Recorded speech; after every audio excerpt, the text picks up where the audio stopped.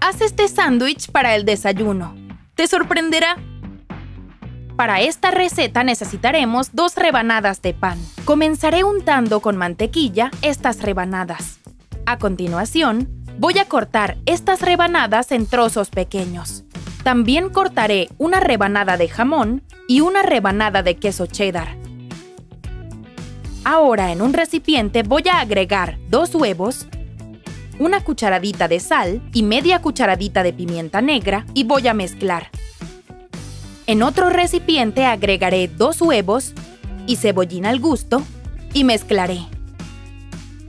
Para continuar, en una sartén agregaré dos rebanadas de tocino y dejaré que se cocine.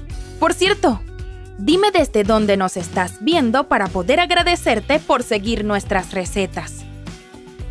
Voy a sacar este tocino de la sartén, agregaré una cucharada de mantequilla y dejaré que se derrita. Luego, añadiré los huevos batidos y las rebanadas de pan. Cuando un lado esté listo, lo voltearé y agregaré el tocino el jamón y el queso.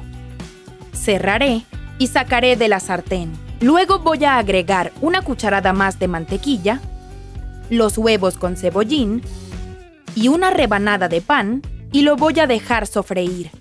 Cuando un lado esté listo, voy a voltear para freír el otro lado y agregaré una rebanada de queso cheddar y una rebanada de jamón si has visto este video hasta ahora, es una señal de que te está gustando nuestra receta. Así que escribe en los comentarios, me encanta el pan. Y nuestra receta está lista. Ahora solo disfruta. Mira lo maravillosa que se ve. Chicos, esta receta es muy fácil de hacer y queda muy rica. Seguro que a todos les gustará el resultado. Asegúrate de hacer esta receta en tu casa y luego regresa para contarme cómo te quedó. Nos encantaría saberlo. Realmente espero que la hayan disfrutado. Muchas gracias por verla hasta ahora. Nos vemos en el próximo video. Adiós.